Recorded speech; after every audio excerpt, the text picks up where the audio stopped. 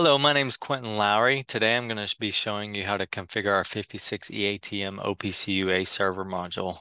First, you obviously need to have that hardware. You need to plug it into a ControlLogix rack.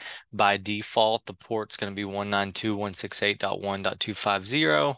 Plug that into the network, then I'll get on a PC, download our free appliance manager software that I'm showing here input the IP address of that module. If you've previously connected to it, it saves it down here. So I can just click on this one. That's the one we're going to be interfacing with. Username and passwords admin admin, and we can log in. See the basic general settings here, uh, configure the time, the ethernet ports, etc. Not going to show you all those details today. I'm going to try to keep this quick for everybody.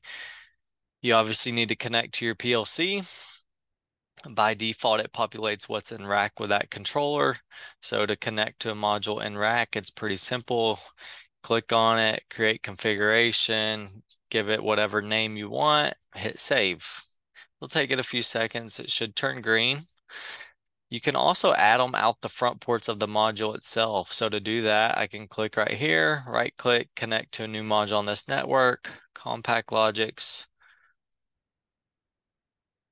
got to tell which Ethernet port you're going out of on the 5060 ATM module itself. The IP address of that CompactLogix. Hit save. It should turn green as well. It means we have access to that. We gathered those tag lists and we pulled it into the module.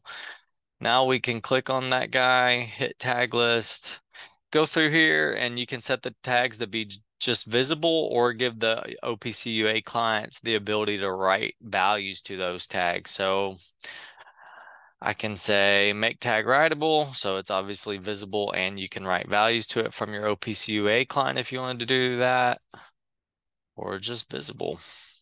You can, we support UDTs and arrays as well as you can see. So you just pick whichever tags you want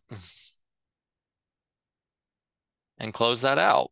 We can do the same thing on the CompactLogix. Those are running very similar programs, but we'll pick some other ones. Like I'll show you this UDT. It's pretty massive. I'll set it. Once you've done that, you can come to the server portion if you're using any type of encryption. Um, if you wanted to make the authentication to be able to connect to the server credentials or certificate base, you could turn that on here. I'm not doing that. Um, this is where you'd manage those certificates. You can set the module to start and it will take it a few seconds to get started. Um, that's based off of how much data we're gathering from the PLCs, how slow your network is to respond to the module, etc. But once that's done, we have a free OPC-UA client. A lot of people do, um, but I'll use that to test. So I can come right here. You can see I've input the endpoints, just OPC TCP, the IP address of the module, 4897 is the port, and then Softing Rockwell automation. If I come in here and I turn this back to green, I can do rebrowse node. And you can see here's our ControlLogix that we configured and the tags that it has access to.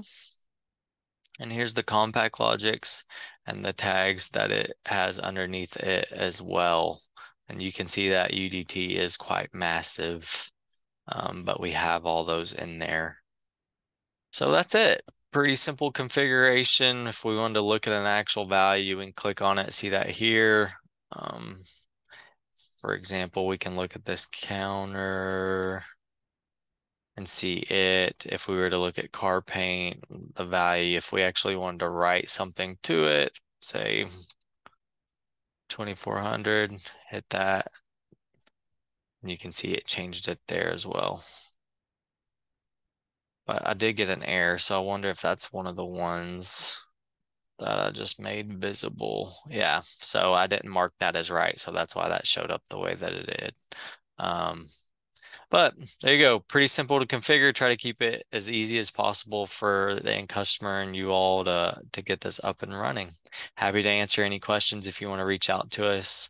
Um, sales at softing.us or support at softing.us if it's um, if you need support on one of our products.